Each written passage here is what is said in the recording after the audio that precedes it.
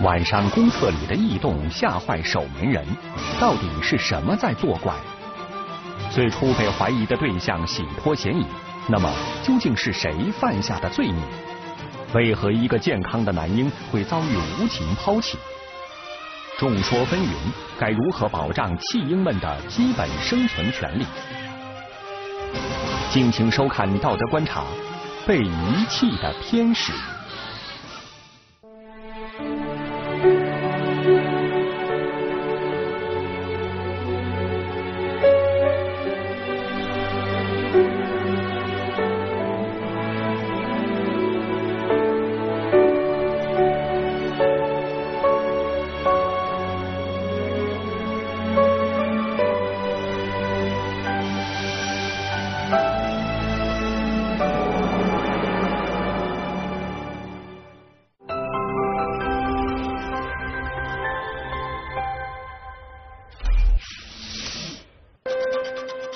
各位好，在古希腊的神话里，有一个狮身人面的怪兽叫斯芬克斯，他会问每一个路过的人，据说是世界上最难解的谜语。这个谜面是：是什么早晨用四只脚走路，中午用两只脚走路，傍晚用三只脚走路？谜底是人，因为人在婴儿时期娇弱无力。他得用四肢爬行，青壮年呢，他就两只脚走路；等到晚年了，他得拄拐棍儿，所以是三只脚走路。这个很形象的生命进程的图解，我们就能看出来，人类在婴儿时期是最软弱无力的，他无法自理，也最需要关爱和照料。但是在现实生活当中，往往事与愿违。今年六月三号晚上八点多钟，深圳市南山区南光村的雷女士正在打扫自家承包的公共厕所。女厕一共有四个蹲位，她在打扫到第三个蹲位的时候，突然角落里传来了奇怪的声音。啊，拖把就从这里拖到这里的时候，这里快要搞完的时候，因为拖干净了，我用那个水冲一遍嘛，那不是有那个嘛。结果就发现那个塑料袋有点动。雷女士吓得把拖把一扔，跑出厕所，叫来自己的丈夫周先生，一起回到公厕，看看到底是怎么回事。我就在走到这个门口，我把那个门口一推，我就听到那个听到有婴儿的啼哭声，然后我就没敢进来，我当时吓得腿都软了。受了惊吓的夫妇俩赶紧向附近的治安员求助。一群人一起来到了女厕所的这个蹲位，结果发现竟然有一个婴儿被大头朝下的塞在角落里的这个纸篓里，用一个塑胶袋装起来，超市用的那个购物袋，嗯，把它这样就就就就赤裸裸的丢在这里，觉得太残忍了。接到讯息，深圳市仁爱医院的急救车赶到了事发现场，对婴儿进行了现场救治。医生们发现。婴儿身上有胎脂，应该是当天刚出生不久的新生儿，而且由于没有结扎脐带，孩子失血很厉害。好像是不懂吧？因为脐带要给他结扎掉，不结扎小孩等于在放血啊。当时赶到事发现场公厕采访的记者还看到了这样温馨的一幕：现场一位年轻的治安员不怕脏臭，一直把这个小小的婴儿紧紧抱在自己的怀里。其中一个十七八岁的队员吧，然后他呃比较瘦弱，但是我就看到他怀里呢就是抱着那个小婴儿了，呃孩子就很很稳稳稳的就在他怀里睡着，我觉得那个画面我一辈子都会记得。医护人员把虚弱的婴儿带回医院进行进一步的检查和治疗，接诊的大夫对这个婴儿的健康状况很担忧。当时看了我们哎心很心酸，这个孩子过来的时候，整个脸色是苍白的，手指头都是透明的。我们一看手指头透明的，没有血色嘛。啊，第一次来的时候，我们血色素查才七十七克，我们正常的孩子要要得一百五十到一百八十克，他就只有三分之一。医院对孩子进行了全面的身体检查，发现除了贫血之外，这是一个非常健康的男婴。医护人员给他取名“仁爱宝宝”。针对宝宝的情况，医院采取措施提升他的血色素，孩子原本苍白的小脸儿逐渐红润起来。大家都非常喜欢这个小家伙。当时医院有三位正处于哺乳期的护士，分别用自己的奶水喂养了仁爱宝宝。他来我们医院的时候刚好是我当班嘛，嗯，当时就是我也没想太多，我就觉得反正我反正我本来也是哺乳期嘛，然后他又没有吃的，我就我就这样就没想太多，就觉得跟自己孩子一样吧。医院里护士们自发的组织起来，轮流贴身二十四小时照顾这个没有妈妈的婴儿，给他做医疗护理的同时，还给他洗澡、喂奶、按摩。很快，孩子就逐渐对护士们的声音熟悉起来。他说喂养的如果正常的新生儿呢是有父母啊，这个家里亲人 没有是他们照料，然后这都全落到我们产科医生和护士的身上了，没有人没有一个人去抱怨，有的都是有自告奋勇。今天我带宝宝，他们都是利用自己休息的时间。孩子变得越来越健康，越来越可爱。产科每位护士的手机里都有和他的合影。啊，这是其他的人抱着的。啊，对。啊，这个也是吗？对，这个也是。这是还没有没有去医院之前，在我们一直在我们这边的时候照的。啊，还抓人呢。会，你看他的手。还抓呢。嗯嗯。那这些小衣服什么的，婴儿服都是你们给买的？不是，都是爱心人士捐的。捐助的哈。嗯。哦，真可爱。嗯，这是之前的时候。刚刚。深圳各界爱心人士听到这个消息，也都纷纷赶到医院探望仁爱宝宝。他们在留言板上留下了很多美好的祝福。还为他捐款，并赠送了大量奶粉、衣物等物资。因为我们家宝宝现在已经半岁了，他开始喝二段的，上了几罐一段的奶粉。这孩子状态很好的，看小孩我还拍了几张照片。一般的家庭当中，一个婴儿的降生，那会是个天大的喜事儿。新的生命会给整个家庭带来新的希望，为人父母的肯定也都喜气洋洋，有一种幸福感。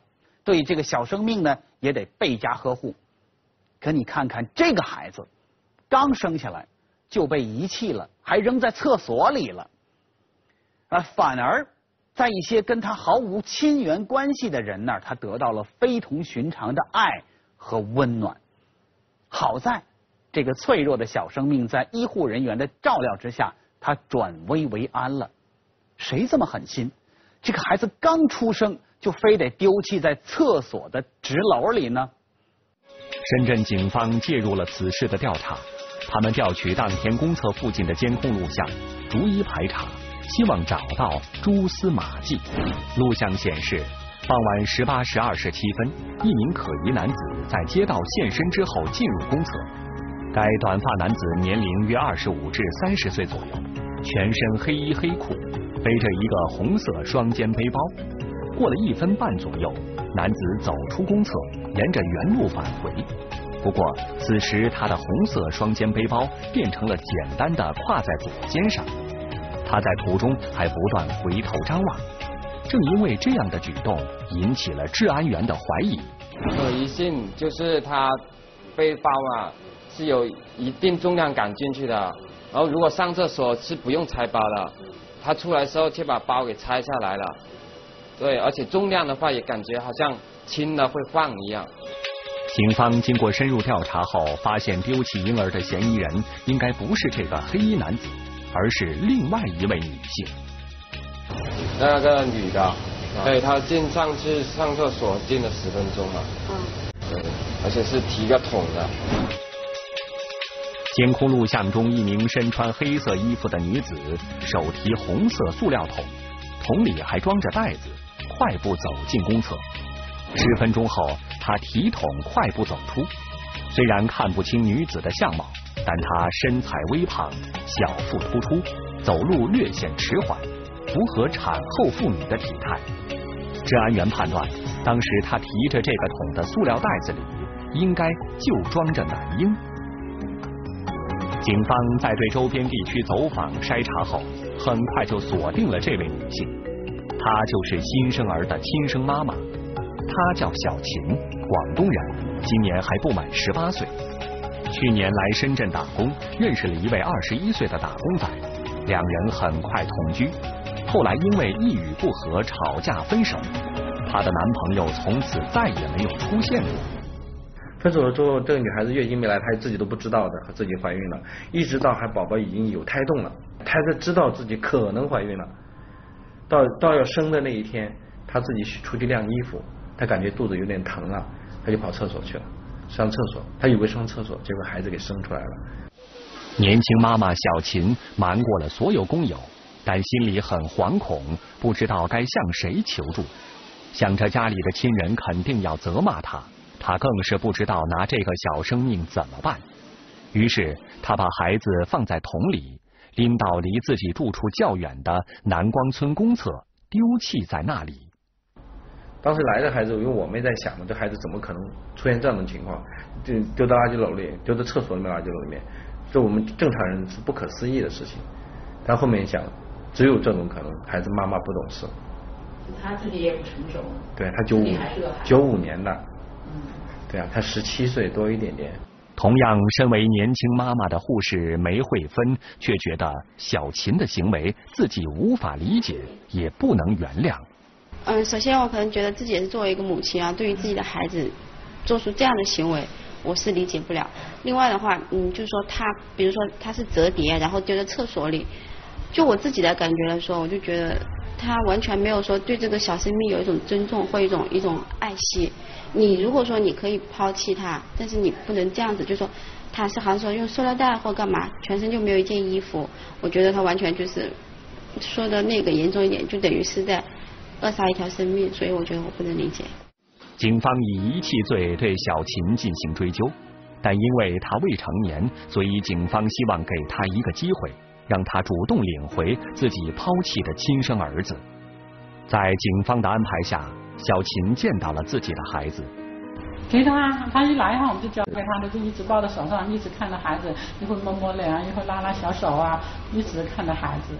这才是一个正常母亲的正常反应。天良是天赋的善心，作为人本性中的良知总是有的。舐犊情深的情感也应该是天生的吧？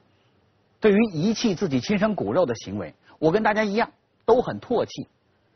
可是我们从另一个方面去想想，因为这个小琴呢，她没有成年，她不成熟，在这件事情的处理上，她确实也有不得已的苦衷。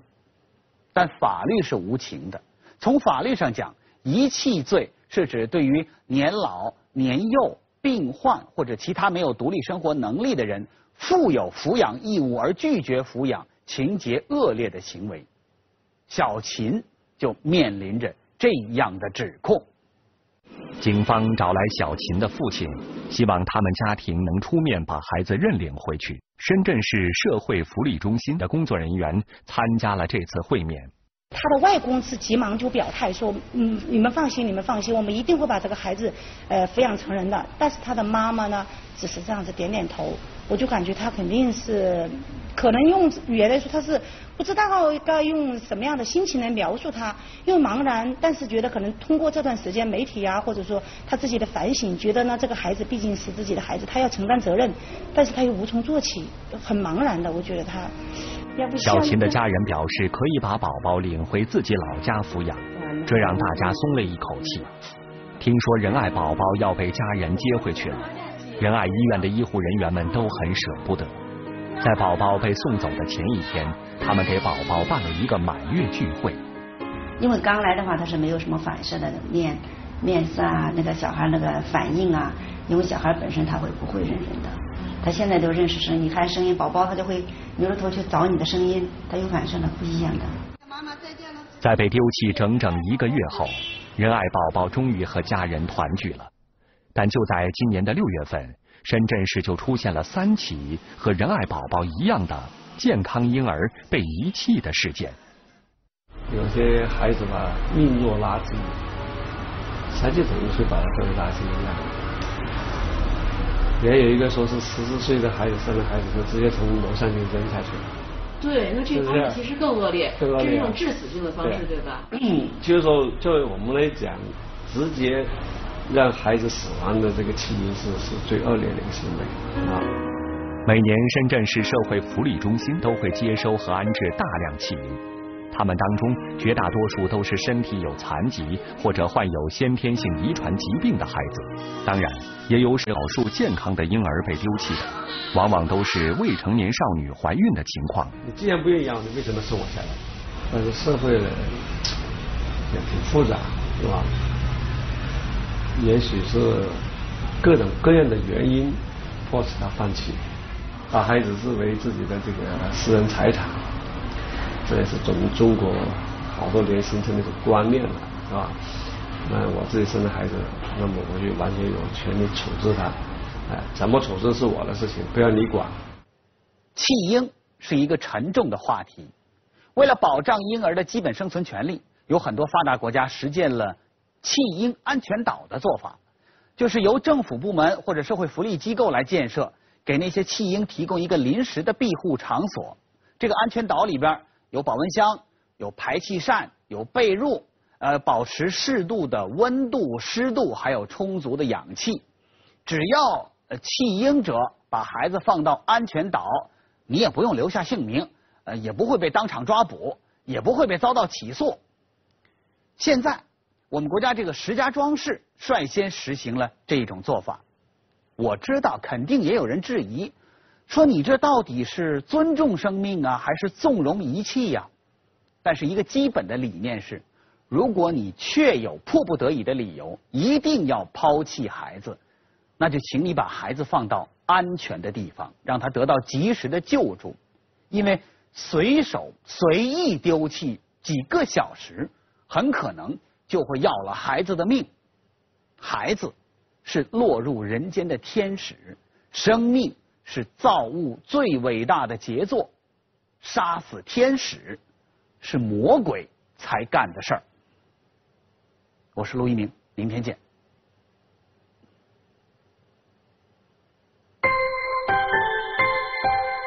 年近八旬的老人去世之后，身边的亲人才得知惊人的消息：身边的保姆竟然是他的妻子。身份的转变会造成局势发生怎样的变化？老人不仅留下了众多遗产，也留下了众多遗嘱，让人猜测，围绕着财产和遗嘱而产生的事端，会不会是他在世的时候所布下的？敬请收看《道德观察》，保姆继母。